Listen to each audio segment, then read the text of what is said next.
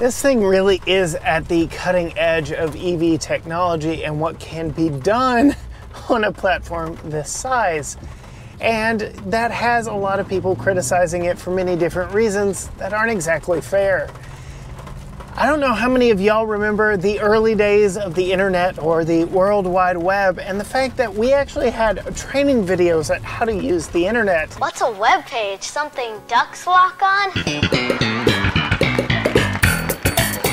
Haha, very funny. We're there with electric vehicles now, and I really think this is the easiest one to just get in and go and not really have a steep learning curve. This is a great truck.